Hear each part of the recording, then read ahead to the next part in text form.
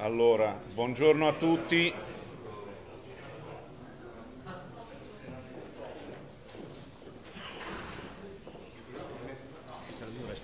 Sì. Buongiorno a tutti. Eh, io evidentemente sono quel signore lassù, Italo Vignoli, ma credo che la mia faccia ormai sia abbastanza conosciuta da tutti quelli che bazzicano intorno, intorno al progetto. Eh, queste sono un po' le cose che ho fatto nella mia vita, e, però eh, no, non è che vorrei fare una, dire, un, una eh, excursus di quello che ho fatto, se avete poi delle domande ovviamente.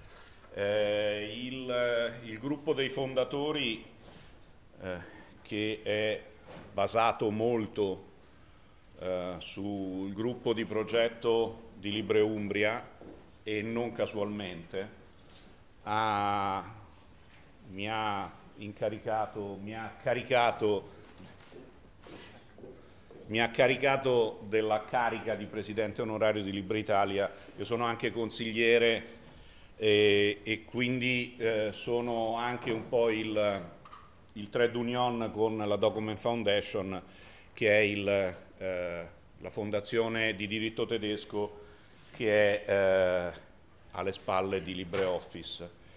Eh, io farò un po' di excursus storico eh, di LibreOffice a partire dalle radici. Le radici sono eh, OpenOffice, eh, è un progetto che è nato nel 2000 e eh, è, eh, dire, ha iniziato ad avere qualche problema nel 2009 ed è eh, finito nel 2011, ha dato origine a due fork, uno è eh, LibreOffice e l'altro è Apache OpenOffice. Eh, il LibreOffice è il fork della comunità, Apache OpenOffice è il fork di IBM. Perché questo? Poi vi, vi darò anche le motivazioni. Allora, eh, OpenOffice è nato nel 2000 quando Sun ha acquisito Star, eh, Star Division, che era l'azienda tedesca che aveva creato Star, Starwriter nel 1985 e poi successivamente gli altri prodotti e eh, nel, nel, 1999 Sun aveva acquisito questa, questa azienda che era all'epoca totalmente tedesca, non solo aveva sede a, ad Amburgo, ma eh, era proprio un'azienda che non aveva una grande cultura internazionale. Sun l'ha acquisita, eh, nel 2000, eh, quindi un anno dopo, ha deciso di prendere il codice sorgente e di eh, donarlo, eh, di, di, trasformarlo in un codice LGPL e eh, di darlo alla comunità, quindi è, l'annuncio del 13 ottobre 2000, nel 2001 c'è stata la release 1.0, poi siamo arrivati, eh, diciamo, dopo dieci anni circa, eh, nel 2009 c'è stato l'annuncio eh, dell'acquisizione di Sun da parte di Oracle, che eh, è stato, siccome le due aziende erano quotate in borsa, c'era poi necessità di un periodo di almeno sei mesi, che però è stato anche leggermente più lungo, di, eh, perché le azioni SAN hanno dovuto essere convertite, ritirate dal mercato, convertite, quindi alla fine è successo che il 27 gennaio 2010 Oracle ha chiuso l'acquisizione di SAN. Eh, la eh, comunità però aveva già eh, visto che quando era stato fatto questo comunicato stampa, quello del 2001, San aveva eh, scritto nel comunicato stampa che sarebbe stata creata una fondazione. Eh, in realtà poi questo non è mai avvenuto eh, sono successe però nel frattempo alcune cose. Eh, allora, queste erano le dipendenze di Star Office nel 2000. Questo è Star Office 5.2, quindi è il codice che è stato poi eh, trasformato in OpenOffice 1.0. Eh, chiaramente il codice era frutto di una serie di aggiunte successive, non c'era una strategia di sviluppo molto eh, aggressiva. Quando Sun ha acquisito il software eh, la strategia di sviluppo è diventata più aggressiva e quindi eh, sono aumentati, diciamo, il codice ha, è iniziato a crescere. Nel 2005 questo era il codice di eh, OpenOffice. Questa presentazione è una presentazione fatta, sono slide di una presentazione fatta da Michael Bemmer, che era il responsabile della divisione della Star Division eh, nel 2006 alla conferenza di OpenOffice di Lione nel 2006. Eh, Chiaramente eh, io non sono un, uno sviluppatore, non sono un tecnico, eh, mi occupo e mi sono sempre occupato di marketing e comunicazione, però quelli di voi che comprendono le cose tecniche, poi non ci vuole molto anche visivamente a capire che il prodotto si era un po' incasinato, per usare un termine eh, proprio umano, eh, chiaramente all'interno del, del, progetto c'erano una serie di sviluppatori che, eh, con, che, avevano accesso ai repository e avevano capito che c'era una tendenza a, un po' all'incasinamento di, diciamo così, del codice sorgente e nel 2005 alla conferenza di Capodistria ci, eh, ci sono state un po' di discussioni su quello che si poteva fare. E nel 2006 Michael Bemmer ha fatto vedere queste slide e ha fatto vedere anche questa slide. Allora, questa slide non è un caso che diceva community building, perché? Perché la comunità che nel frattempo era cresciuta, era, era migliorata anche non, non, qualitativamente, ma era migliorata numericamente, le persone che erano entrate nella comunità nel 2000, le primissime sono in Francia, eh, una delle prime in assoluto è Sophie Gauthier, che oggi è dei, è di fatto la segretaria generale della Document Foundation, quindi comunque rimane all'interno del progetto a distanza di 15 anni, eh, quelle persone avevano iniziato perché eh, OpenOffice è stato il primo progetto che non era di software libero, che non era strettamente legato alla tecnologia del sistema operativo. Eh, quindi non era un prodotto solo per Linux, era un prodotto che aveva la sua grossa base installata su Windows e per il software open source e il software libero era un po' atipico. Chiaramente questo ha fatto sì che venissero cooptati all'interno della comunità persone come per esempio il sottoscritto che non avevano radici nel mondo Linux o nel mondo della tecnologia ma avevano radici nel mondo del, dell'utenza normale. Eh, chiaramente la comunità nel momento in cui si è organizzata ha iniziato a protestare, tra virgolette, nei confronti di Sun, soprattutto perché eh, veniva ignorata. Allora, eh, c'era un community manager all'epoca di Sun, eh, che eviterò di dire il nome perché è un caso umano e quindi eh, no, è antipatico, la persona è ancora vivente ma eh, dire, continua a essere un caso umano anche adesso che non c'è più la comunità eh, di, di, di Open. E, e avevano fatto, c'erano in particolare alcuni sviluppatori che avevano detto il codice sta diventando troppo complesso, le patch, quindi le, le patch che non sono sviluppate dalle persone di Sun vengono integrate in modo troppo lento, rimane famosa una patch di Koei Yoshida che è eh, probabilmente il miglior sviluppatore che esiste su Calc in questo momento, che è stata integrata 28 mesi dopo essere stata eh, consegnata. Quindi 28 mesi è semplicemente assurdo, nel senso che la patch era già diventata vecchia nel momento in cui è stata integrata nel codice. Perché c'era da parte di Sun una resistenza a fare, a integrare cose che non fossero fatte nelle segrete stanze di Amburgo. E poi c'era il problema che il codice era difficile e mettersi a lavorare sul codice era complicato. La cosa buffa è che dal 2005 al 2010 queste tre cose non sono state fatte eh, e queste sono tre delle cose che sono state fatte dalla Document Foundation, ma non perché la Document Foundation sia più brava, ma semplicemente perché è nata in un momento preciso, cioè eh, poi questo ovviamente io sono uno dei fondatori della Document Foundation, quindi sono decisamente di parte.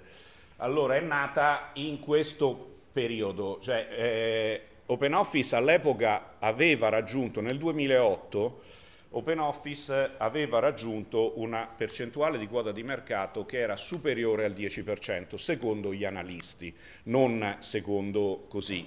Eh, tanto che dal 2009 in avanti le ricerche che parlano di quote di mercato delle suite per ufficio non sono più disponibili e il motivo per cui non sono disponibili è perché c'è un'azienda eh, che compera tutte queste ricerche e non le pubblica. Ora è inutile che vi dica il nome di questa azienda, eh, però vi posso dire che ha sede in One Microsoft Plaza a Redmond. Eh, e quindi noi pensavamo di essere arrivati a questo punto, cioè ci voleva un nuovo impulso per far crescere il prodotto. Il prodotto era eccellente, ma cominciava a essere un po' stanco, cominciavano a esserci un po' di frizioni, poi è arrivata Oracle che ha fatto l'acquisizione di Sun sicuramente non per acquisire OpenOffice, ma in realtà per acquisire i server Spark su cui giravano i database Oracle del Ministero della Difesa americana, del Pentagono, che è il più grosso cliente di Sun e eh, ovviamente Sun, eh, eh, Oracle non voleva che i server Spark del Ministero della Difesa americano andassero nelle mani di IBM, che era l'altro potenziale acquirente di, di Sun. E poi perché voleva mettere le mani su MySQL. Eh, se voi avete visto eh, lo sviluppo di MySQL, lo sviluppo di MySQL in questo momento è, come dire, è in, una, in uno stato che potremmo definire paludoso, nel senso che eh, Oracle sì lo porta avanti, ma chiaramente non lo porta avanti nello stesso modo in cui veniva portato avanti in precedenza. Quindi il eh, 28 eh, settembre, eh, quindi Oracle acquisisce Sun, eh, questo è il comunicato stampa, chiaramente due aziende quotate in borsa, il comunicato stampa è necessario, eh, ma se, andiamo, se, andiamo, perché qualcuno sostiene che l'acquisizione di Sun da parte di Oracle, in particolare c'è un signore che frequenta le mailing list di Apache OpenOffice, si chiama Fernando Cassia, che è, scusate il termine, un imbecille di dimensioni industriali, che sostiene che ehm, eh, Oracle aveva delle strategie di, eh, di sviluppo per OpenOffice, voleva fare. Allora, eh, non c'è neanche io gliel'ho anche fatta vedere, ma lui è talmente cretino che non vuole capire. Qui, queste sono le strategic acquisition di Oracle, qui non c'è Sun. C'è tutto ma non c'è Sun, non è un'acquisizione strategica, è un'acquisizione tattica, è un'acquisizione difensiva, non è un'acquisizione per crescere quote di mercato, è un'acquisizione per evitare che altri facciano crescere quote di mercato. Quindi eh, c'è stato un, eh, chiaramente, la comunità che non è fatta solo da cretini, ma c'è anche qualcuno che sa leggere i bilanci, eh, si è andato a vedere cosa c'era scritto nei bilanci chiaramente ed era abbastanza facile capire le motivazioni per cui è stata fatta l'acquisizione. Quindi cosa è successo? La comunità ha deciso di prendere, eh, era, era inutile ci avevamo provato, stavamo discutendo, abbiamo discusso con, con, Oracle, abbiamo discusso prima con Sun, abbiamo discusso con IBM. Eh, chiaramente sono aziende che, eh, a cui la comunità eh, non, non, piace tantissimo.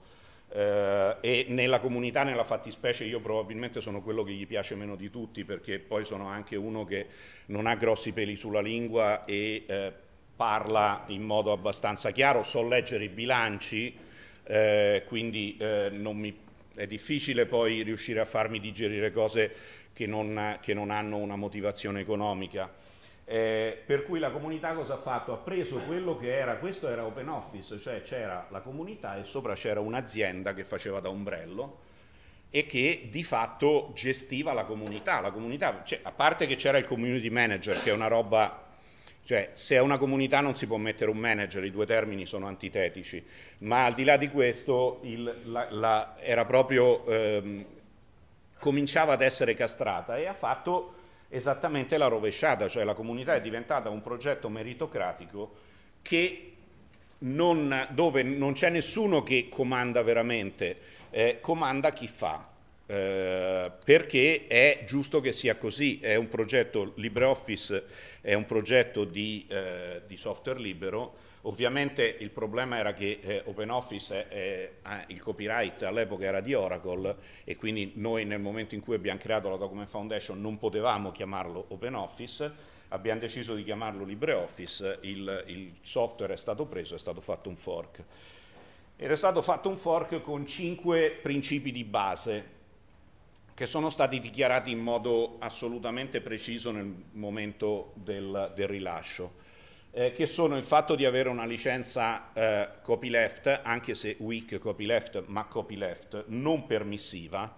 Le licenze permissive, secondo il giudizio dei fondatori della Document Foundation, non sono adatte a software come OpenOffice e LibreOffice eh, quindi non è una discussione sul merito, sulle caratteristiche della licenza permissiva, io personalmente sono contrario alle licenze permissive, eh, però eh, non è un giudizio sul merito, è un giudizio sul fatto che una licenza permissiva favorisce per, in modo naturale eh, le aziende all'interno di una comunità e una comunità come quella di OpenOffice è fatta più da individui che da aziende, quindi penalizzando gli individui è una licenza inadatta. Noi siamo riusciti a far crescere tantissimo il parco degli sviluppatori perché gli sviluppatori sono all'interno di un ecosistema dove tutti sono uguali, cioè non c'è Red Hat, eh, Google, eh, le, le, aziende non sono più forti.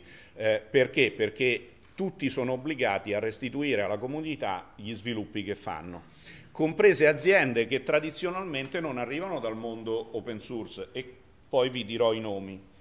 Eh, non viene chiesto un contributor agreement, chiaramente non è che questo significa che il codice viene preso così come viene, il codice viene comunque analizzato, eh, tanto che siamo arrivati ad avere un livello qualitativo del codice eh, che è eh, assolutamente rilevante. Non so se avete visto gli annunci ma ieri eh, siamo riusciti a scendere eh, sotto il fatidico livello dello 0,01 eh, difetti per mille righe di codice. Siamo a 0,002, quindi siamo realmente eh, a livelli che nessun altro software open source riesce ad avere, il più vicino è Wireshark che ha 0,1, eh, ma tutti gli altri sono il livello di, di difetti sul codice sorgente, il che non significa il numero di bug, chiaramente i bug sono una cosa diversa. Eh, una democrazia meritocratica dove le persone fanno, vengono riconosciute per quello che fanno, eh, non c'è nessuno che ha il titolo di manager, direttore e così via. Eh, la govern governance della comunità, eh, quindi eh, la Document Foundation, è eh, credo una delle prime fondazioni in assoluto ad avere membri che sono di fatto anche i proprietari, eh, una fondazione non può avere proprietari, ma sono di fatto i proprietari della fondazione e sono quelli che possono eleggere ed essere eletti. Io sono un membro, ci sono 22 membri italiani, o 23 credo, qualcosa del genere, eh, molti di loro sono in questa stanza e alcuni di quelle delle persone che sono in questa stanza, se non si sbrigano a fare domanda di membership, di quelli che non sono membri, gli succede lo stesso che, che, poteva succedere a quelli che hanno fatto adesso domanda di membership. La stessa cosa vale per domanda di certificazione, voglio dire, vi aspetto, sono qui in agguato. Io sono iscritto a tutte, tanto per dare, voglio dire, non voglio fare quello che l'eminenza grigia. Io sono iscritto a tutte le mailing list della Document Foundation, quindi non me scappate. Nel senso, io ricevo da info a tutte le mailing list, per cui se c'è qualcuno, perché qualcuno ha pensato di fare il furbo, gli è stata data la risposta sulle mailing list italiane e ha scritto a info. Eh, e quindi io ho ricevuto info, lo riceviamo in due, io e Florian Effenberger, che è l'executive director della, della Document Foundation, per cui cioè, Adesso non è che non voglio fare l'eminenza grigia, ma eh, mi viene riconosciuto un ruolo decoroso all'interno della fondazione, diciamo così. E poi la totale indipendenza. Siccome avevamo capito che avere un elefante nella stanza non andava bene, abbiamo fatto eh, in modo che eh, l'elefante diventasse un elefantino. Eh, quindi in tutti i, ehm, gli organismi decisionali della Document Foundation c'è uno sbarramento a un terzo dei voti per gli appartenenti a una singola organizzazione. Questa stessa cosa è stata assolutamente riprodotta all'interno anche dell'Associazione Libra Italia. Cioè non ci, può, non ci possono essere, il board della Document Foundation è fatto da sette persone, non ci possono essere più di due che appartengono alla stessa azienda, organizzazione, comprese le organizzazioni no profit. Quindi per dando per assurdo che vengono eletti due membri della Free Software Foundation, che voglio dire non avrebbero nessun interesse a controllare la, la, Document Foundation, se ne venisse eletto un terzo, il terzo dovrebbe lasciare posto al primo dei non eletti, che non è della Free Software Foundation, perché comunque abbiamo deciso di non guardare in faccia a nessuno, cioè l'indipendenza è indipendenza, quindi non è che può essere indipendenza nei confronti degli uni e non degli altri. E questo chiaramente fa sì che e tutto questo non sono delle fantasie notturne dei fondatori della Document Foundation, sono frutto di dieci mesi di discussione e questo è un modello di business. Non sono fantasie notturne come sostiene qualcuno, questo è un modello di business. E è un modello di business che a quattro anni di distanza possiamo dire che funziona. Ovviamente c'è spazio per altri modelli di business, per cui non sto dicendo che questo è l'unico o l'assoluto modello di business che funziona con software come LibreOffice, ma questo funziona. Si è visto allo stesso modo che un modello di business basato sulla licenza permissiva non funziona. Noi lo avevamo detto, c'è stato chi non ci ha creduto perché pensava che queste fossero lucubrazioni notturne e mi dispiace, a quattro anni di distanza, oggi è un mese esatto che non ci sono più contributi in assoluto sul codice di Apache OpenOffice. Mi dispiace perché è, purtroppo è una fine sbagliata, è una fine che ha voluto una, so una, sola azienda che si chiama IBM e alcune persone che hanno deciso di dare più fiducia a IBM che ai fondatori della Document Foundation. Eh, quindi questo è, eh, sto a, vi, ho, vi ho già detto un po' di cose, però vi invito a leggere, vi invito a leggere lo statuto, vi invito a leggere tutto perché, come è ovvio che sia, essendo un progetto di software libero è tutto pubblicato e poi se andate a vedere il blog, se andate a vedere, molte delle cose sono state ampiamente spiegate nel corso degli anni. Questo è il sito di LibreOffice.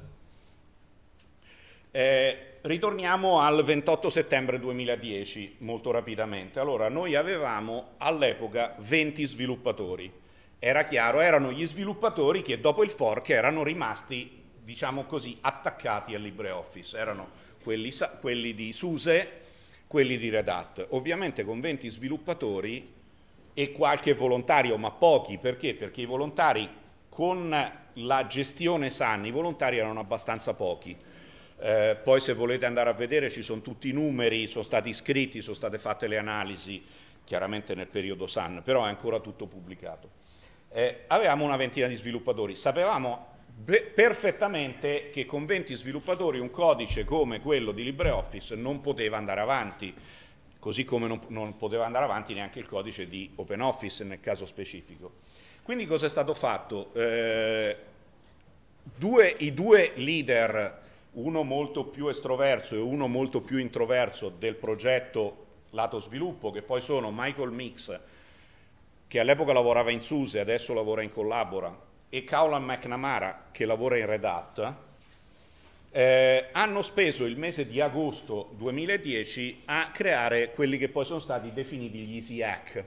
Gli Easy Hack sono semplicemente il codice di, di LibreOffice, di OpenOffice, è un codice monolitico molto grosso, sono circa 10 milioni di righe di codice, non è facile orientarsi al suo interno. Loro cosa hanno fatto? Hanno fatto praticamente una atomizzazione dei contributi. Li hanno veramente divisi al punto tale che io ne ho otto. Cioè il fatto che io abbia otto contributi sul codice è significativo, significa che hanno fatto otto robe che sono talmente facili che riesco anche a farle io. perché, ripeto, io non ho assolutamente nessun tipo di cultura tecnologica, sono laureato nel 1978 in lettere, quindi non ho background di quel tipo. Eh, questo cosa ha fatto sì? Ha fatto sì che le persone trovassero facile arrivare sul codice, eh, trovassero qualcosa di semplice da fare e quindi potessero anche essere, cioè dimostrare quello che potevano fare ai sviluppatori più senior. Poi chiaramente hanno speso un sacco di tempo a fare mentorship, quindi a fare proprio ad aiutare le persone. Ovviamente abbiamo avuto anche delle fortune, perché poi come si dice, la fortuna aiuta gli audaci, i 16 fondatori, che sono 16 incoscienti ovviamente, perché immaginatevi voi fate un fork di un prodotto che ha 10 milioni di righe di codice, i vostri concorrenti, cioè quelli che non sono d'accordo sono Microsoft, Oracle e IBM. Cioè, infatti ho detto è come lanciarsi senza paracadute dal salto Ankel, che è la più alta cascata che c'è al mondo, dove in fondo c'è un laghettino profondo 3 metri, dicendo faccio il tuffo laggiù. Il salto Angel è alto 910 metri, quindi fare il tuffo su 3 metri, però noi ci siamo arrivati, adesso l'abbiamo presa di pancia ovviamente perché non è stato facile, però ci siamo arrivati. Eh, Cos'è successo? È successo purtroppo, devo dire, eh, una cosa che eh, non è piaciuta a nessuno di noi e è stato il fatto, allora eh, Sun aveva fatto con IBM un contratto, un contratto scadeva nel 2000, non è chiaro se alla fine del 2013 o all'inizio del 2014, eh, chiaramente però Oracle aveva ereditato il contratto con IBM e quindi nel momento in cui Oracle ha deciso di dismettere OpenOffice, perché era chiaro che Oracle l'avrebbe dismesso, voglio dire, alla, alla, conferenza di Orvieto del 2009, Oracle ha mandato non un dirigente, ha mandato un, quello che gli americani chiamano executive, cioè un signore senza budget. Allora, se tu alla conferenza di OpenOffice mandi un signore dalla corporation che non ha budget, significa che a te di Open Office non te ne frega assolutamente niente. Se ti interessa Open Office mandi il vice president, che è quello che ha il budget. Io ho lavorato in un'azienda americana, queste sono cose chiarissime, cioè non c'è bisogno di andare a studiare cose particolari. Eh, gli americani se sono interessati a un prodotto mandano uno che ha il budget, se non sono interessati mandano uno che non ha il budget, perché semplicemente poi vogliono che quel prodotto venga gestito, ma non mantenuto. Quindi eh, Oracle ha chiesto di fatto a IBM che cosa fare e IBM che ha sempre avuto una tradizione di uso di licenze permissive, eh, IBM aveva fatto Symfony, che era un prodotto che derivava da OpenOffice, con la versione 1.0 di OpenOffice, perché la versione 1.0 di OpenOffice era rilasciata anche con una licenza permissiva che si chiamava SISL, che era Sun Industry Software License e qualcosa, eh, e poi aveva tenuto il codice di Symfony sulla versione 1.0 di OpenOffice, che era un'antologia di bug, fino al 2009, ma molto semplicemente fino al 2008 perché? Perché non voleva usare la versione LGPL che avrebbe costretto IBM a condividere con la comunità tutti gli sviluppi. Poi nel 2008 ha firmato questo contratto con, Or con Sun che permetteva a IBM di ignorare il, la licenza LGPL e di rilasciare un prodotto proprietario. Quindi Oracle pubblica, non è, non è, neanche un comunicato stampa, pubblica una roba sul blog che dice abbiamo deciso di trasferire OpenOffice ad Apache Software Foundation. Perché? Perché la licenza Apache è una licenza permissiva. Ora io sulla licenza permissiva ho due teorie che sto sviluppando, una che è la licenza dello sceriffo di Nottingham e l'altra è che è la licenza che il governo americano ha usato per fottere le terre agli Apache, perché gli ha detto noi adesso condividiamo tutto, dopodiché a un certo punto ha detto, ah no, vabbè, ok, adesso diventano proprietarie, sono nostre, voi vi mettiamo nelle riserve. E quindi così è nato il concetto di Apache License, secondo me. Eh, IBM voleva la licenza permissiva, tanto che in 20 minuti dopo la, cioè, IBM normalmente, Massimiliano Zagaglia che è un giornalista che è lì ve lo può confermare, IBM ci mette 15 giorni a rilasciare qualsiasi dichiarazione da parte ufficiale dell'azienda. In 20 minuti hanno fatto un comunicato stampa, tre, tre post su tre blog che si linkavano ciascuno a vicenda, ma non solo, hanno preso un signore e gli hanno dato il titolo di Program Director Apache OpenOffice, eh, tanto per non far capire che loro volevano controllare il progetto. È ovvio che eh, Apache eh, e eh, io onestamente devo dire, devo, sotto certi punti di vista ringrazio IBM di aver fatto questa mossa perché questo mi ha costretto a studiarmi Apache Software Foundation e mi ha permesso di capire che Apache Software Foundation più la conosci più la eviti. Cioè è eh, un'azienda che ha il, preside il, il, president che è un dipendente Microsoft che manda, che scrive da, da un Lumia e da un, surf, da un, Surface con Windows 8. Cioè, eh, cerchiamo di avere un minimo di eh, decenza. Se fai il president di Apache Software Foundation eviti di usare il Lumia, eviti di usare il Surface con Windows 8. Puoi fare tante cose nella vita, non è che vogliamo impedirtelo, però eviti di fare il president di Apache Software Foundation. Eh, uno dei vice president è un altro dipendente di Microsoft. L'ex president è oggi president della fondazione Outer Curve che è totalmente finanziata da Microsoft. Allora, io poi uno dice tu pensi male, però sapete che in Italia si dice che a pensare male si fa peccato, però ogni tanto uno ci azzecca anche. Io onestamente, e poi Microsoft rilascia tutti i suoi software open source con Apache License. A me sono delle cose che mi danno un po' di fastidio. Poi eh, probabilmente non ho totalmente ragione, però dall'altro lato devo dire che noi abbiamo dimostrato che IBM aveva totalmente torto. Eh, e, e vi, vi, vi, questa è una dimostrazione chiara. Allora, noi siamo l'unico progetto oggi, ma vi posso dire che siamo, arriviamo a 51 perché ci sono già dei nuovi sviluppatori che sono arrivati a novembre, sono, questo è settembre 2010, questo è ottobre 2014, sono 50 mesi. Noi sono 50 mesi che abbiamo nuovi sviluppatori ogni mese che arrivano al progetto. Eravamo un po' preoccupati a dicembre 2013 perché erano solo tre, eh, ma come vedete sono di nuovo risaliti.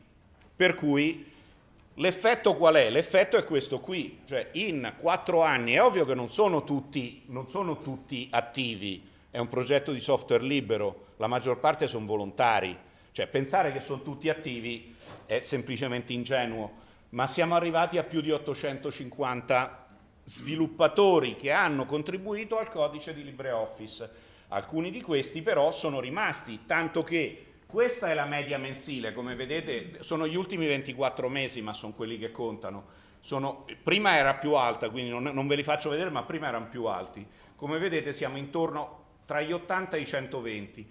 Questa è la media sui 12 mesi, sta un po' scendendo sicuramente, ma il progetto si sta anche consolidando e quindi il, fatto che prima ci fossero più sviluppatori attivi su base annuale era semplicemente una, in, una funzione del fatto che c'era grande entusiasmo. Non è casuale infatti che se guardiamo l'andamento mensile dei contributi, questo è in leggera crescita. Quindi gli sviluppatori sono, diciamo, di meno in termini numerici o qualcuno di meno, ma comunque stanno contribuendo di più. Perché? Perché adesso c'è gente che lavora da quattro anni sul codice, quindi è diventata più efficiente, conosce il codice quindi è in grado di fare contributi in modo molto migliore sul codice. Prima ovviamente i, i, nuovi arrivati non potevano contribuire tanto, gli ci voleva tanto perché comunque non è banale eh, scrivere, fare contributi su un... è un software importante, sono moduli diversi, cioè è, è comunque... E quest, allora, questa slide, così come l'altra, viene da una ricerca fatta da un'università svedese. Allora, questi erano i committer di OpenOffice 209 questi, gennaio 2013, scusate, quindi è un anno, diciamo quasi due anni fa. Noi infatti adesso siamo a 850. Questi sono i committer di LibreOffice, come vedete i 209 sono esplosi. Questi sono i committer di Apache OpenOffice, ma non perché, ripeto, non è una questione di cattiveria, è semplicemente che i volontari non vogliono andare, non vogliono entrare in un negozio, nel famoso negozio di cristalli dove c'è l'elefante, perché eh, se tu fai il volontario, a meno che tu abbia una fortissima motivazione, per esempio Pedro Giffuni, un mito, ha scritto la sua tesi di laurea è la licenza GPL e il diavolo. Allora, io vorrei intanto conoscere il professore che gli ha accettato una tesi di laurea del genere, perché sono cretini due, lo studente che l'ha chiesta e il professore che gliel'ha data. Ma questo ha scritto una, questa roba qui. È ovvio che poi lui contribuisce ad Apache Open Office e non a LibreOffice, perché se la licenza GPL è figlia del diavolo, per inciso, io quando sono stato a Cuba nel 1987 ho comprato un libro che era analogo, che era il marketing è l'Ico del demonio, che è praticamente la stessa cosa. Cioè uno non può pensare che una licenza sia, abbia caratteristiche demoniache o no. È chiaro che le licenze sono, ciascuna licenza rispecchia dei modelli di business e ciascuna licenza è funzionale al modello di business della comunità o del progetto che c'è dietro, quindi non è che una licenza è migliore o peggiore intrinsecamente rispetto all'altra, rispecchiano un modello di business, l'End User License Agreement di Microsoft Office rispecchia un modello di business, la MPL di LibreOffice oggi rispecchia un altro modello di business.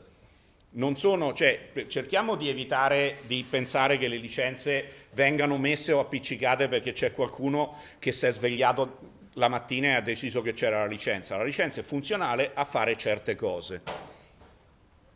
E questo è eh, il numero, come è cresciuto il numero degli utenti. Eh, come vedete, ovviamente, come era normale, aspettate, questo è da febbraio 2012. È ovvio che all'inizio la crescita era più lenta.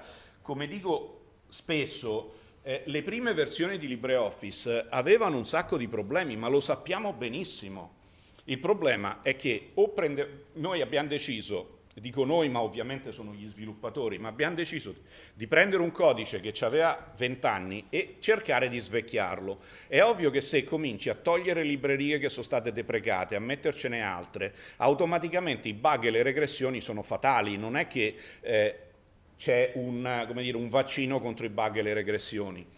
Per cui la LibreOffice 3.3 LibreOffice 3.4 erano sicuramente dei software che avevano delle importanti instabilità, eh, sono state corrette. Chi ha seguito l'evoluzione di LibreOffice sa benissimo che le ultime versioni sono neanche confrontabili con le versioni precedenti in termini di stabilità, di prevedibilità, eccetera. Ma era ripeto, sono tutte cose che sono state annunciate, quindi dire quando esce LibreOffice 3.3 ma ci sono i bug, quando ti è stato detto abbiamo tolto 10 librerie deprecate e ne abbiamo, l'abbiamo sostituite con altre 10, è, no, è, del tutto inutile, nel senso che è stato anticipato, che è stato fatto un lavoro che avrebbe portato ad avere dei bug o una percentuale di bug maggiore rispetto al passato semplicemente perché smuovi il codice sorgente e trovi dei problemi.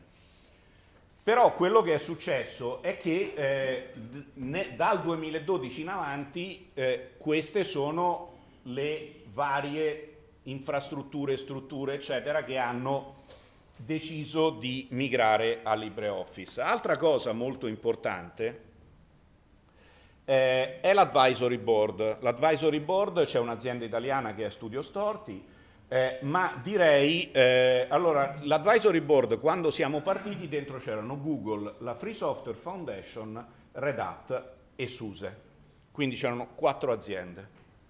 Adesso siamo a eh, 15 o 16.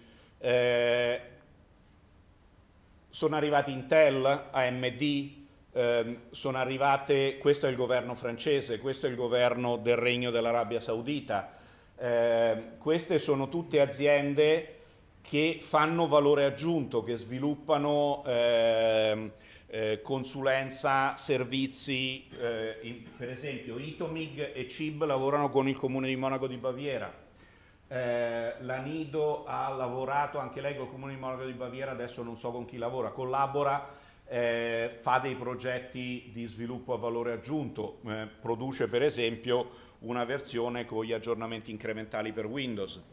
Eh, Cloudon è un'azienda eh, americana con centro di ricerca in Israele che eh, ha portato su iPad LibreOffice. Eh, ha preso LibreOffice perché ha capito che per andare su iPad bisognava completamente rinnovare l'interfaccia utente, ovviamente è andata prima a chiederlo a Microsoft e quelli di Microsoft ovviamente gli hanno detto QQ come risposta, per cui ha preso il codice di LibreOffice, ha fatto un lavoro importantissimo sulla compatibilità con i formati eh, di Microsoft Office e proprio perché c'era la licenza MPL li ha restituiti alla comunità, quindi adesso noi ci troviamo un prodotto che è CloudOn per iPad, che ha un'interfaccia, quindi il layer di interfaccia è un layer proprietario, che è quello sviluppato in modo specifico da CloudOn, ma tutto quello che c'è sotto è stato condiviso da CloudOn, che ripeto è un'azienda che viene dal mondo del software proprietario, quindi non ha nulla, eh, non ha una cultura del software libero, ma ha capito che per un prodotto come quello che voleva sviluppare era sicuramente funzionale il fatto di poter avere una comunità perché perché i miglioramenti che ha fatto su Office Open XML Cloud On, che sono tantissimi, ma, ma, ma c'è stato il governo francese, il comune di Monaco di Baviera e, e, altri che hanno fatto altri miglioramenti e quindi Cloud On si è trovata a godere di miglioramenti che non sono stati pagati da Cloud On e che si è trovata sul prodotto. Quindi quando gli è stato spiegato, chiaramente hanno capito che gli conveniva, come dire, gli conveniva dare gratis delle cose per averne gratis delle altre e chiaramente il fatto che sono cresciuti gli sviluppatori ha consentito di avere dei cicli di sviluppo. È ovvio che nel software libero i cicli di sviluppo sono teorici, però si è cercato, c'è un engineering steering committee che cerca di dare un certo tipo di organizzazione e inquadramento allo sviluppo che viene fatto di LibreOffice. Eh, questo si è tradotto in, per esempio, il filtro di importazione di Microsoft Visio fatto con LibreOffice 3.5, quello di CorelDRAW, LibreOffice 3.6, quello di eh, Microsoft Publisher, LibreOffice 4.0, la 3.7 non c'è stata, la 4.0 è l'equivalente della 3.7, tanto che poi si è deciso di dar vita a un progetto che si chiama Document Liberation, cioè lo sviluppo di, questi, di queste librerie di compatibilità fa sì che le librerie di compatibilità che sono integrate dentro LibreOffice però sono disponibili, visto che siamo un, pro, un, un progetto di software libero, queste librerie sono disponibili anche per altri prodotti, tanto che eh, la cosa, se volete, comica, tra virgolette, è che questa libreria, quella che permette a LibreOffice di importare le presentazioni di Apple Keynote, viene usata anche da Corel, che è un'azienda di software proprietario, per importare le presentazioni all'interno del suo programma di presentation.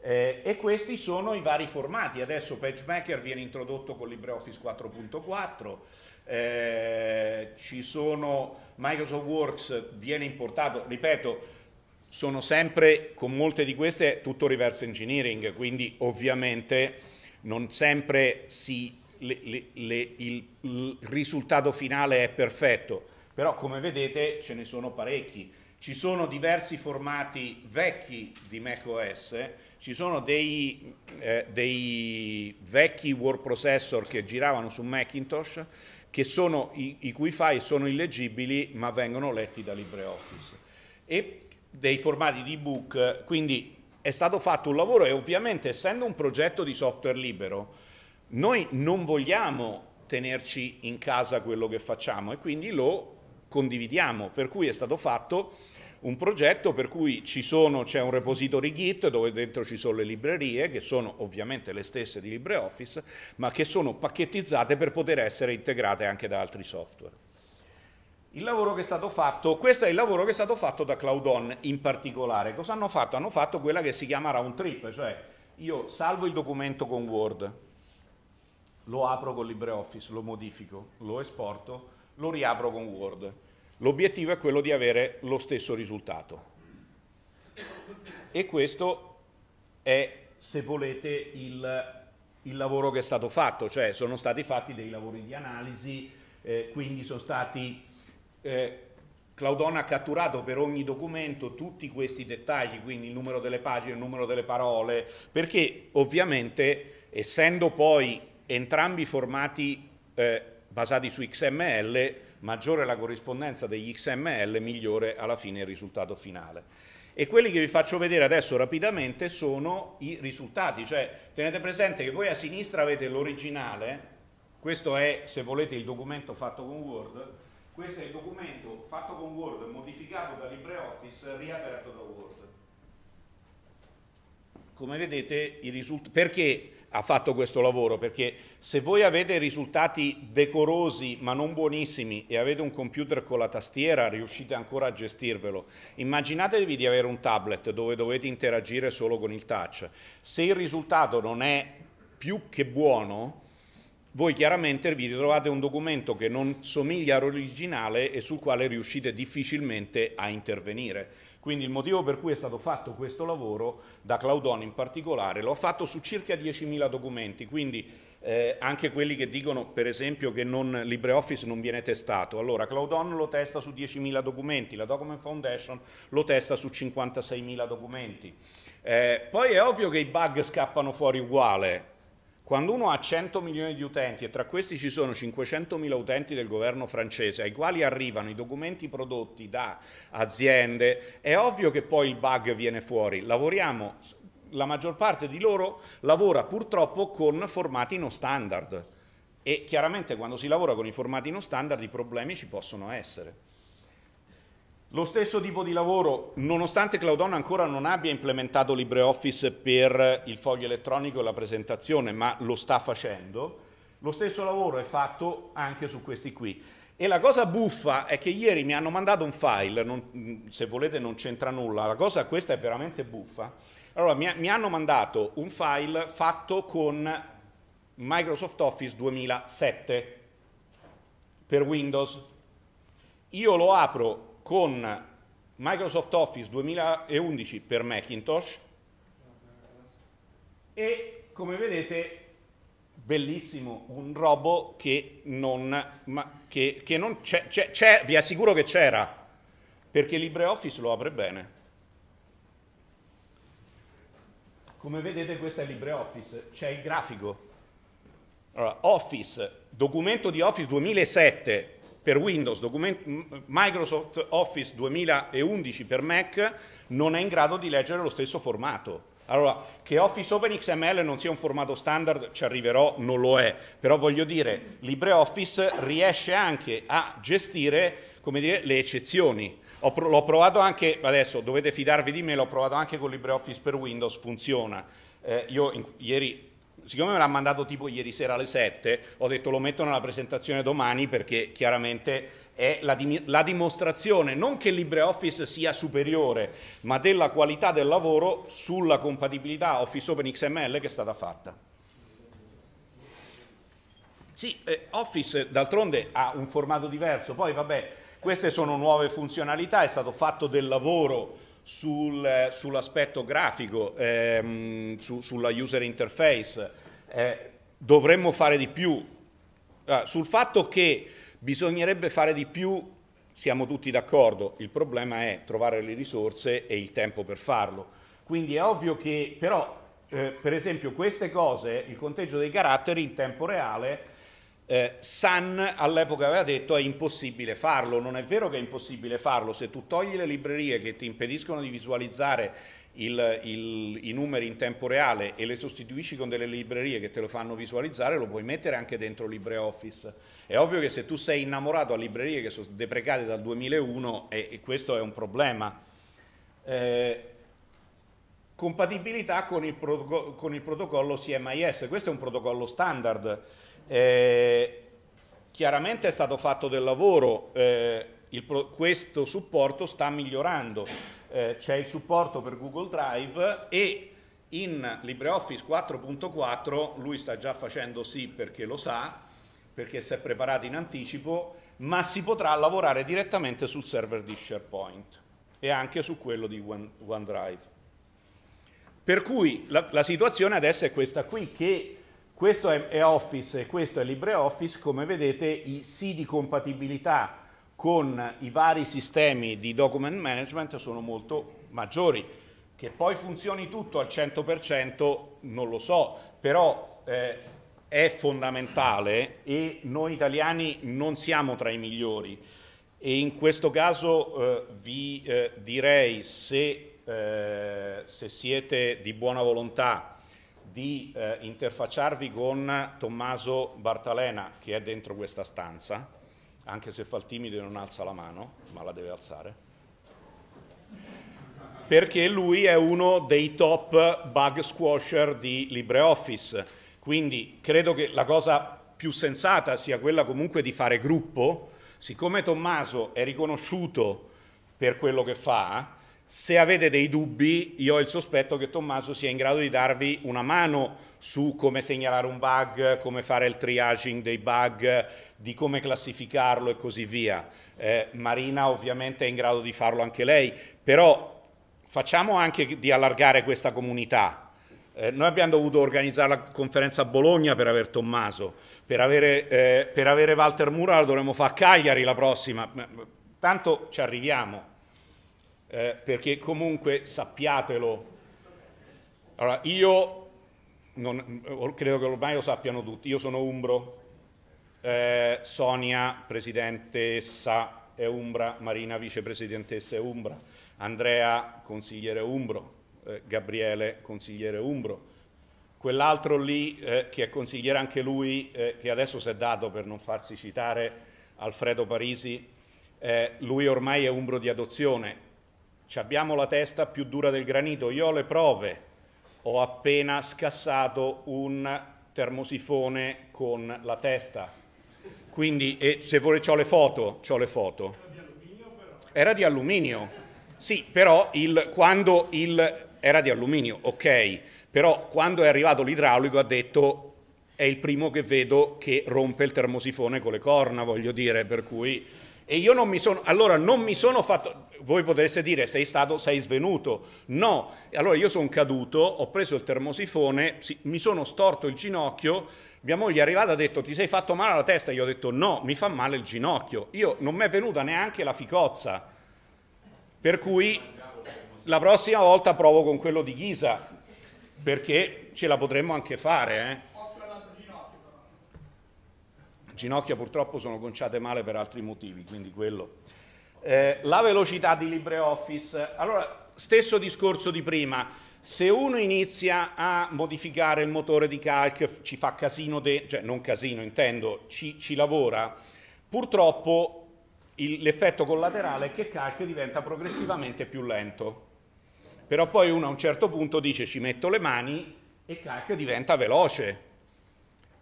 È ovvio che più bug vengono segnalati, più, più, cose vengono dette, più gli sviluppatori sono in grado di capire anche le problematiche.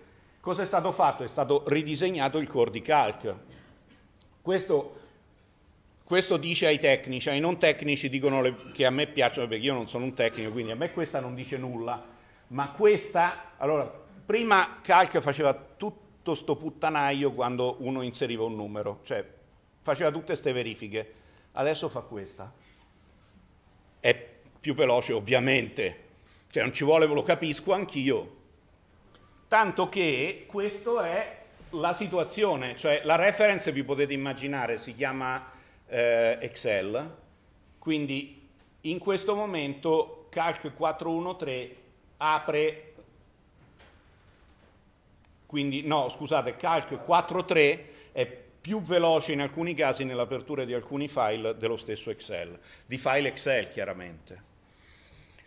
Eh, qualità del codice. Allora, questa qui è la... Se, allora, qui siamo a 1. Tutti i software che hanno meno di un difetto per mille righe di codice sono considerati da Coverity, che è l'azienda che fa questo, questo, eh, questo, mh, mm, dire, questo benchmark, sono considerati ottimi software LibreOffice era 0,08, eh, il software proprietario è un po' peggio del software eh, libero, come vedete il kernel Linux, Samba e c'è Firefox, Thunderbird. Eh, fino all'altro ieri, eh, questi sono gli ultimi, eh, sono gli ultimi benchmark. Ehm, questo se volete ve la posso mandare io perché sono accesso a Coverity non, se voi entrate nella pagina Coverity di LibreOffice senza avere accesso non vedete tutti questi numeri.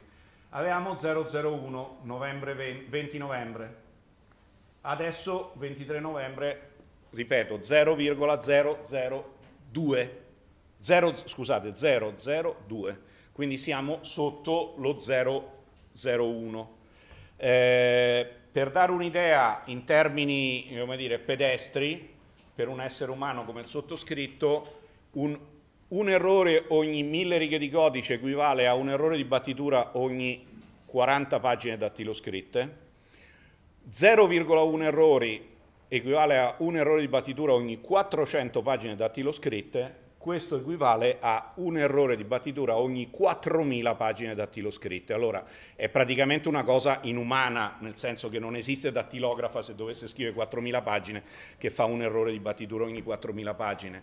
Ma, e, e questo chiaramente non significa che i bug sono 000, questo significa che la struttura del codice di LibreOffice è esente da riferimenti incrociati sbagliati, da eh, righe di codice morte, da cose che sono qualitativamente nel codice, mettono la qualità del codice a repentaglio. E questo fa sì che ovviamente se uno sviluppa codice su una base così, fa gli errori, quindi fa i bug, solo se sbaglia, ma non tanto per i riferimenti incrociati, gli manca, cioè va a pescare un riferimento incrociato non documentato, qui non ce ne sono più. Come vedete ci sono ancora 21 errori su 10 milioni di righe di codice, sono pochini e sono, ripeto, sono, io non sono un tecnico, poi se volete vi faccio avere una, una spiegazione specifica, ma sono cose che riguardano la qualità proprio del codice sorgente. Diciamo che un codice è pulito e in questo momento è il prodotto che è il codice più pulito in assoluto. Questo è sul master della 4.4, quindi è la prossima versione di LibreOffice. Ovviamente si fa sull'ultima versione. Mark Shuttleworth a suo tempo aveva detto che LibreOffice aveva qualche problemino, perché? Perché la, la prima volta se l'ha è installato la 3.4 e la 3.4 lo sappiamo, poi si è installato la 4.2 e ha scritto mi sono reinstallato la congratulazioni perché ha fatto leaps and bounds, che in inglese significa fatto passi da gigante. Quindi è un esterno, tra l'altro un signore che con LibreOffice non ha nulla di specifico a che vedere. Una carrellata veloce sui formati standard, questo ovviamente non è tanto è, è, è più un'informazione di tipo generale. Allora i formati standard cosa significa? Allora, L'ODF è il formato, queste sono le estensioni dei file.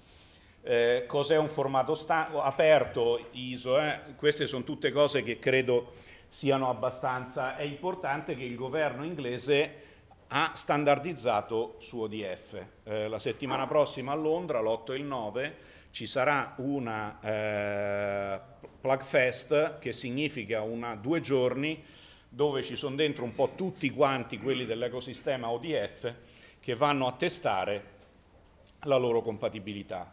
Eh, io sono stato invitato direttamente dal governo inglese, mi, mi, devo pagare le spese però perché comunque è tutto, vabbè me le paga la Document Foundation, eh, però eh, credo che sia importante che questo perché? Perché nel momento in cui è stato preso, è stata fatta tutto il lavoro di analisi, io ho contribuito con una serie di informazioni sul, sul formato ODF da un lato e sul formato Office Open XML dall'altro, che sono state evidentemente considerate interessanti.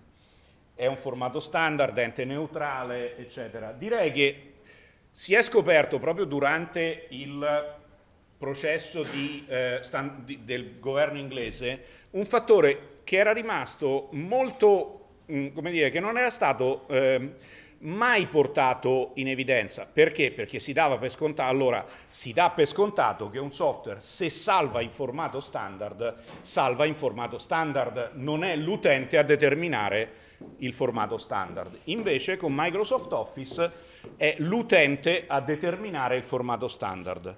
Cioè eh, Office Open XML non è agnostico nei confronti dell'utente. Se voi volete salvare in formato Office Open XML strict, che è quello che si avvicina più allo standard, pur non essendo ancora standard, eh, voi dovete aprire un documento, prima di aver fatto qualsiasi cosa, intendo anche inserire uno spazio, lo dovete salvare in formato strict, Dopodiché dovete essere, accertarvi ed essere sicuri che lungo tutta la catena del valore tutti gli utenti fanno salva con nome e salvano in formato strict, perché se uno solo salva in formato di default, passa al transitional e a quel punto, tra l'altro, Microsoft Office va in casino, nel senso che allora, se salvate Excel proprio le date iniziano a non capirci più nulla eh, sul mio blog c'è un post eh, del, su, dove racconto tutto quanto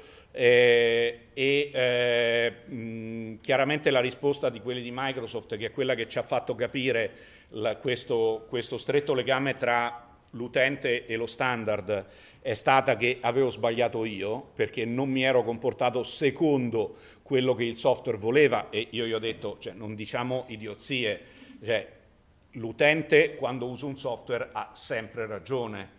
L'utente ovviamente può fare n mille errori, ma se io salvo con LibreOffice o con Apache OpenOffice o con Calligra o con AB Word o con Numeric nel formato ODF, io salvo sempre nel formato ODF. Non è che l'utente deve accertarsi di salvare in formato standard oppure no.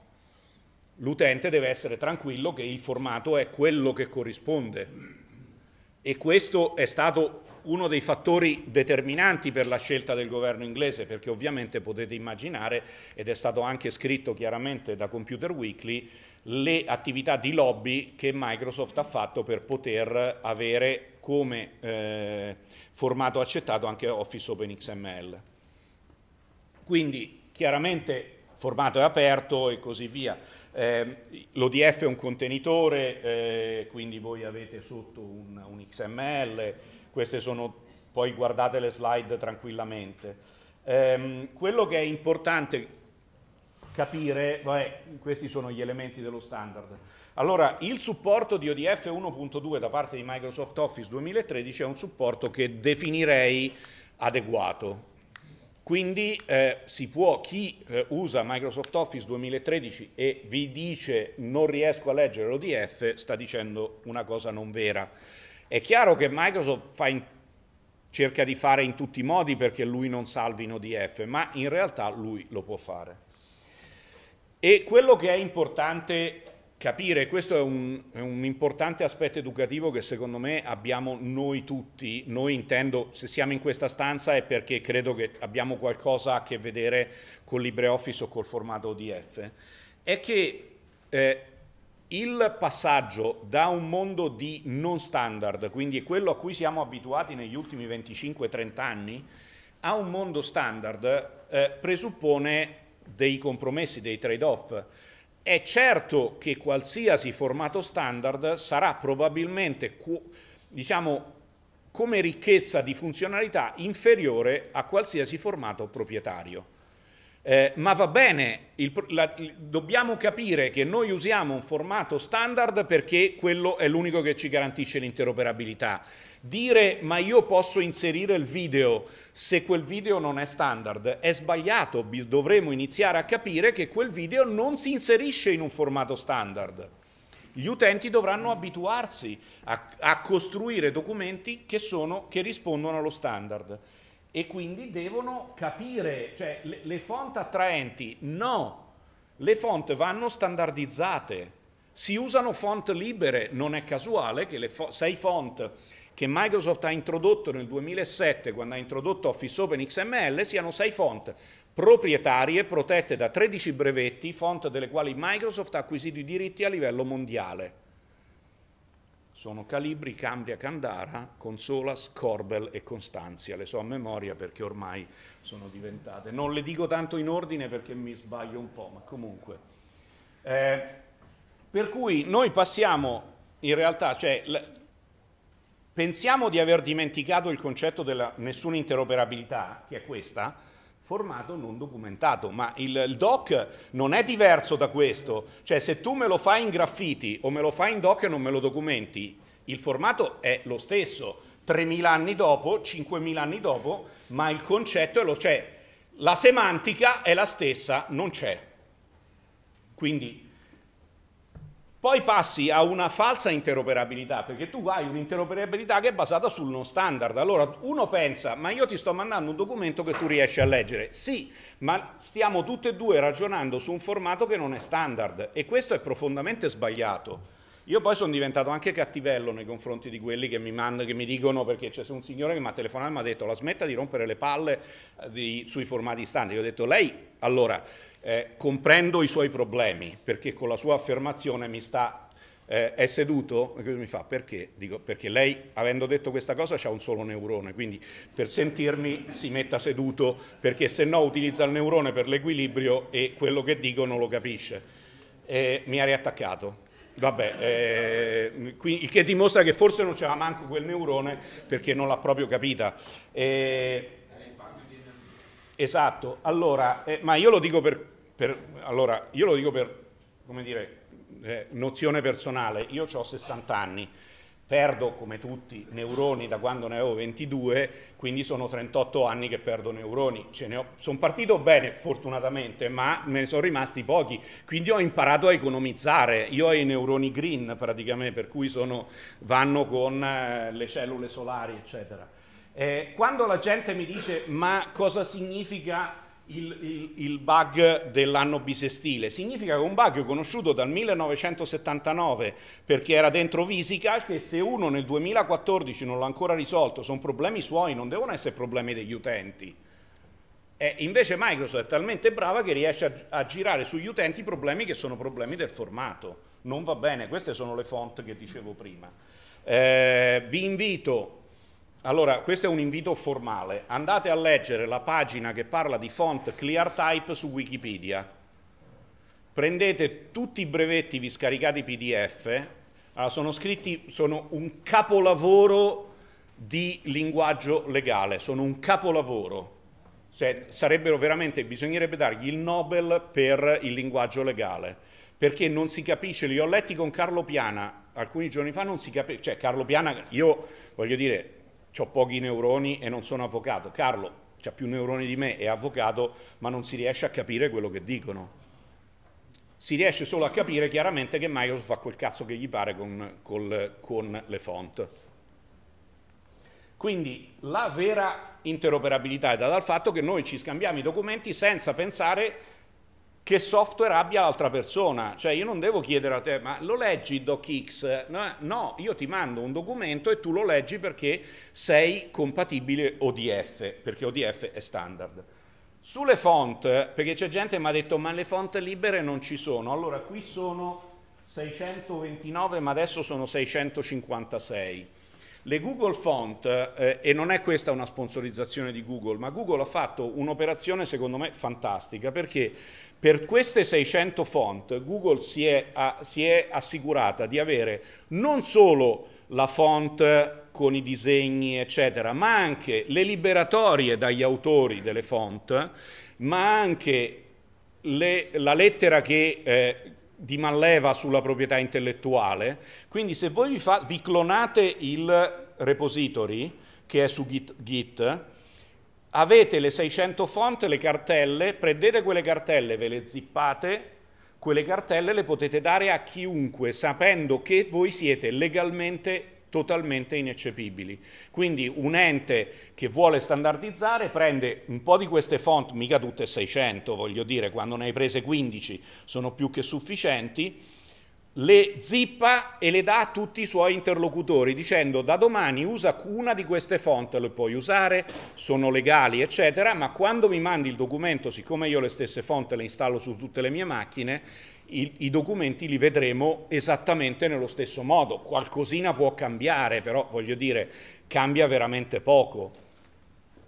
Quindi eh, eh, i formati per interoperabilità o di, ODT, nel caso del testo ODT è consigliato, questi sono accettati ma, ma, è una situazione transitoria, cioè dire mandamelo in, in DocX significa tu mandamelo, io ho un software che riesce anche a leggere il tuo formato, ma non è corretto usare quel formato perché me lo stai mandando in un formato non standard e questo è un confronto specifico, cioè eh, Office Open XML nonostante sia stata chiesta nel 2008 non ha nessuna implementazione nativa libera Questo non dovrebbe essere standard, uno standard che non ha un'implementazione nativa libera.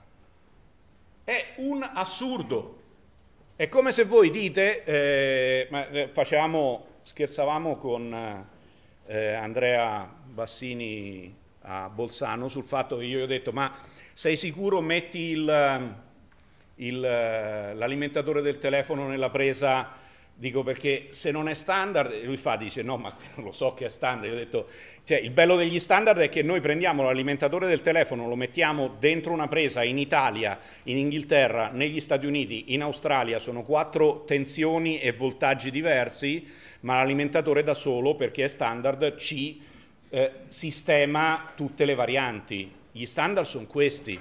È ovvio che probabilmente il 160 a 72 Hz potrebbe essere una corrente elettrica migliore, però non è standard, non esiste e allora usiamo gli standard. È che sull'hardware è facile perché gli standard ti vengono di fatto imposti, sul software l'utente deve diventare parte dello standard. E il problema di Office Open XML è questo, è che si, lo standard impone una cesura, cioè c'è un giorno che si dice da domani facciamo lo standard. Gli svedesi, non so se lo sapete, ma nel, intorno al 1000, io ero già nato, eh, intorno al 1966, qualcosa del genere, hanno deciso di passare dalla guida a sinistra alla guida a destra. Non è che hanno detto per sei mesi facciamo una roba così, ognuno va dove gli pare. Hanno detto da stanotte si cambia corsia, cioè è ovvio che le macchine, quelli che avevano la macchina con la guida a destra perché guidavano a sinistra, e si sono trovati a mal partito finché non hanno cambiato macchina. E però non è che quelli dicono no perché tu c'hai la guida a destra, guida pure a sinistra, perché tanto poi, cioè, ma no, no, non scherziamo, cioè, gli standard significa che se adottiamo uno standard, automaticamente tutto quello che non è standard viene deprecato. Quindi il fatto di scrivere una cosa del genere è assolutamente, e che lo scriva un signore che, che fa parte di ECMA, è sbagliato. Cioè non dovrebbe dirlo, dovrebbe dire non vogliamo rinunciare e quindi non facciamo lo standard, che è la realtà. Se vuoi farlo standard devi dire da domani ci dispiace, i vecchi documenti ti do il convertitore, ma so, non sono più standard. Ultima cosa, la certificazione. Allora, Anticipo che ci sono in questa stanza alcune persone che se entro, mettiamola così, il 15 dicembre non mi mandano la domanda di certificazione e le persone che la possono mandare lo sanno da soli, non c'è bisogno che li guardi. Eh, non, gli, non solo non gli faccio gli auguri di Natale, ma non siete ignifughi, ok? Quindi Esatto, beh posso anche pH bocciate. Eh? Lui parla facile perché è già certificato. Quindi... Però voglio dire, eh, il, la certificazione è Marina che non c'è. Dov'è Marina? Marina? Marina è l'unica che ha fatto il vero esame di certificazione. Era un po' imbarazzata, però devo dire... No, anche perché abbiamo parlato un'ora, un'ora, circa un'ora in inglese circa un'ora in inglese, però devo dire se l'è cavata egregiamente. Gli altri lo sanno benissimo che l'inglese non è la nostra lingua madre, quindi evitiamo di pararci dietro ma io non parlo inglese. Allora, intanto nel, nel, comitato di certificazione io ci sono sicuro e c'è Sophie Gauthier che c'è sicuramente e siamo entrambi, sappiamo benissimo cosa significa la comunità, quindi non è che vi stiamo a fare un esame di lingua, prima cosa. E seconda cosa, potremmo avere, visto che Marina e Stefano fanno parte del gruppo dei revisori, organizzarci per avere loro in modo da avere un supporto in italiano, ma non paratevi dietro al fatto ma in inglese non so cosa dire, non so che documenti mandare, se c'è uno che me lo riscrive un'altra volta e lui sa chi me lo ha scritto, sa chi è, se me lo riscrive un'altra volta, no, conosco anche che macchina c'ha, quindi voglio dire... Per...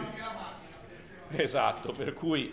Allora, programma di certificazione molto semplice, c'è un, un, project management, ci sono 4-5 aree, ma diciamo che poi queste due sono praticamente la stessa cosa. Eh, allora, la discussione è stata importante, io ho iniziato a parlare di certificazione nel 2007-2008, all'inizio mi hanno detto che ero pazzo, ma siccome ho la testa dura di, del termosifone di cui prima, alla fine poi ci sono riuscito. Eh, cosa significa? Significa che le persone che fanno i progetti, che li gestiscono in un certo modo, devono essere riconosciuti. Perché? Perché il software libero purtroppo parte, è come il golf, parte ad handicap.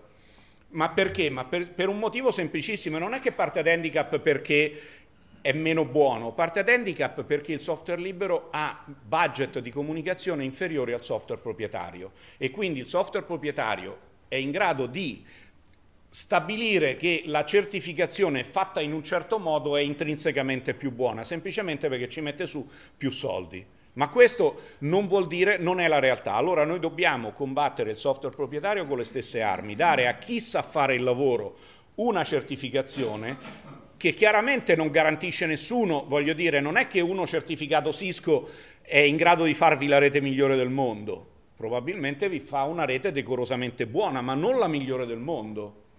È, è, è, inutile che Cisco dice che la sua certificazione è migliore di quella di Jupiter o di quella di Extreme Networks, non è vero. Ciascuna certificazione ha le sue caratteristiche, ovviamente uno va a vedere, però chi è bravo chi ha competenze nelle migrazioni, chi ha competenze nel training, quella del supporto partirà nel 2015, eh, devono essere riconosciute, perché altrimenti se no ci troviamo di fronte a una pletora di persone che ti dicono che sanno fare queste cose, perché comunque sanno cos'è il software libero, ma in realtà non le sanno fare. Dobbiamo avere un benchmark per forza, semplicemente perché il mercato pensa che la certificazione sia il benchmark di qualità. È inutile che ci mettiamo a discutere dicendo ma non è vero perché chi, ha, chi, ti dà il diritto di certificarmi? Nessuno me lo dà, ma a questo punto voglio dire che cosa facciamo? Andiamo al Big Bang per capire chi, è, chi ha il diritto di essere certificato? Quindi è stato creato un programma di certificazione, questo è il sito, l'indirizzo è documentfoundation.org certification, eh, c'è l'application, c'è l'elenco dei, dei, dei, dei certificati, eh, ci sono dei documenti di riferimento, c'è una bibliografia, eh, sicuramente c'è da studiare un po', però voglio dire, non è che uno può pensare di avere un riconoscimento senza avere nessun tipo di, di perlomeno di leggersi un po' di cose. Eh, ripeto, non è che uno deve sapere cos'è l'end user license, cioè deve sapere a memoria cos'è l'end user license agreement di Office, però io mi aspetto che una persona che è certificata sulle migrazioni un po' lo sappia che cosa c'è scritto dentro, perché se no non vedo perché dovrebbe essere certificata. Eh, è importante perché è una, è una domanda che l'azienda che passa da Office a LibreOffice vi farà, Qual è la differenza sulla licenza? Quali sono i problemi che mi dà sottoscrivere una licenza piuttosto che l'altra? Le font, eh, bisogna saperlo che le font hanno dentro dei brevetti. C'è scritto tutto, eh, ci sono, non è che sono tutte cose e poi rispondiamo agli email in modo talvolta educato, in alcuni casi un pochino più brusco, diciamo. Io sono Dipende, da, allora, eh, quando scrivete a me, eh, in alcuni casi, come dire, incrociate le dita perché potrei rispondere in modo, come dire, leggermente secco, però dai, in realtà chi fa domande coerenti non rispondo mai. Vabbè, quello, quello l'abbiamo già sistemato. Certo. Su che versione deve fatta la certificazione?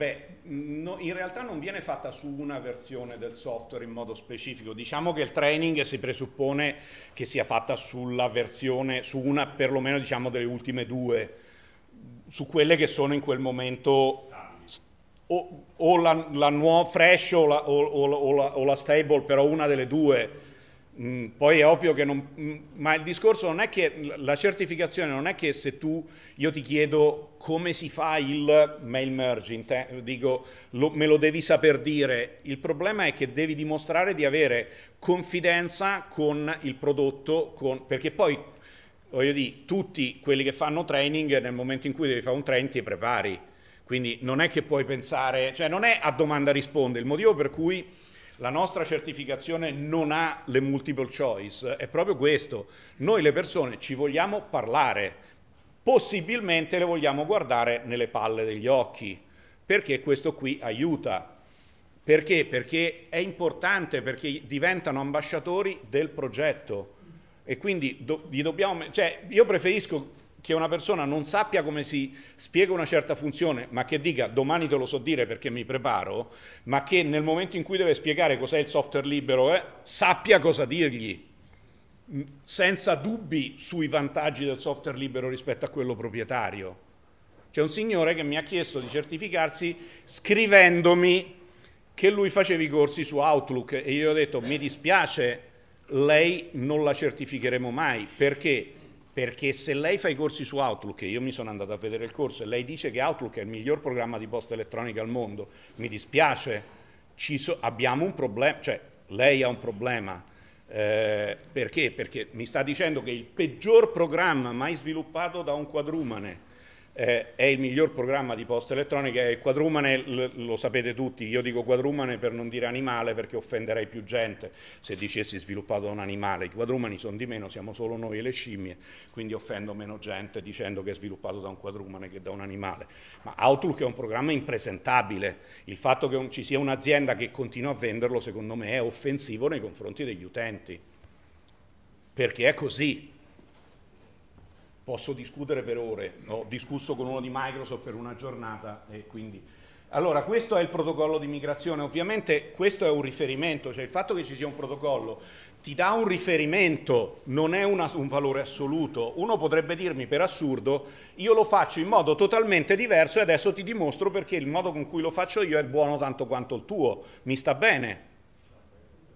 Se funziona, se gli utenti che hai migrato sono contenti, se non hai creato problemi, se non gli hai fatto estirpare Microsoft Office per il gusto di estirpare Microsoft Office, mi sta bene, quello non è un problema. Eh, questa è una ipotesi di timing, ma lo stesso, cioè questi sono documenti che danno un riferimento, ma semplicemente perché eh, se non hai un riferimento non sai di che cosa stai discutendo ma va benissimo confutarmeli totalmente. Ovviamente la formazione, la, la, formazione si fa in un certo modo, sono, mentre le migrazioni è un argomento molto meno codificato, eh, la formazione è un argomento più codificato, ci sono manuali, c'è tutto, quindi ovviamente siamo andati a vedere per il protocollo di riferimento quelle che sono questo è semplicemente un'organizzazione fatta da questo signor americano, ma ce ne sono altri, quindi, però il concetto è lo stesso, esigenze formative, preparazione degli utenti, l'ambiente di learning, cioè non è che possiamo andare troppo distanti da, una, da un flusso di questo tipo. E chiaramente training per funzione, come vedete c'è sempre introduzione al free software, introduzione al LibreOffice, cioè non è che si può pensare di spiegare a un utente che passerà da Microsoft Office, perché ovviamente questo training è, si presuppone che siano persone difficilmente ci troveremo un 100% di utenti che adottano LibreOffice per, da zero, che non hanno mai usato un programma, il primo programma che usano è LibreOffice. Eh, soprattutto in ambito aziendale troviamo gente che ha già usato Microsoft Office, quindi sapergli dire perché le differenze tra il software libero e il software proprietario? Perché LibreOffice? Fagli capire per esempio che LibreOffice non è un prodotto sviluppato nei sottoscala eh, come pensa qualcuno, non certamente che è in questa stanza, oppure a me è successo che sono andato a incontrare delle persone in, in, un ente pubblico, non avevano fatto, perché trovare la mia foto è abbastanza facile, non avevano fatto ricerche, quando io mi sono presentato questo mi guarda e mi fa, ma lei è qui per parlare di LibreOffice, ho detto se vuol parlare con Italo Vignoli, io sono, ci sono solo io al mondo con questo nome, quindi dice, ma noi pensavamo che lei fosse un ragazzino. Cioè, cosa vuol dire? No, no, ma, ma, non, ma è, un, è un'obiezione che non ha assolutamente senso, perché è un'obiezione che ha dietro di sé il concetto che è fatto da quattro scotennati che si sono trovati la sera davanti a una birra, che non è vero. Questi sono software che hanno un modello di business, hanno un progetto di tipo industriale, che poi dietro ci sia una fondazione no profit è una questione indipendente, ma c'è un progetto di tipo industriale fatto per crescere, che fino adesso è andato bene, poteva andare male così come è andato bene.